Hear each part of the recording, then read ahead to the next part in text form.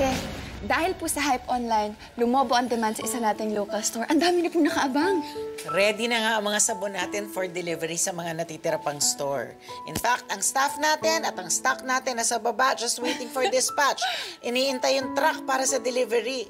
Congratulations! Congratulations po sa atin. Good job!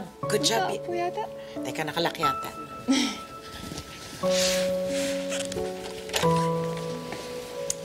Magandang araw po. Ah, Mula po sa office ni Atty. Hernandez para sa inyo. ah okay, Tungkol saan po yan? Oh. Nawala ang labo, ah.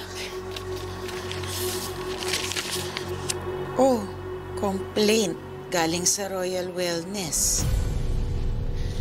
Ano pong problema? Reklamo. Nagre-reklamo sila.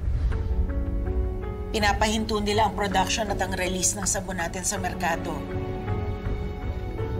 Ang kiniklaim nila, ginaya daw ng Magda Soap ang sabon nila. Nanakot sila, patent infringement ang isasampa nilang kaso pag hindi daw tayo tumigil at sumunod. Ate, imposible pong mangyari na na magpapareho kami ng produkto. Alam na alam po nila na formula namin ni Lolo ang Magda's Magic Soap.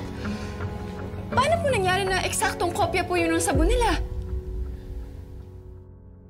Sinusulat pa din namin ni Lolo to sa isang notebook para hindi namin makalimutan. Andun lahat yung recipe ng herbal medicine niya, pati nung tatay ni Lolo, ni Lolo Dado.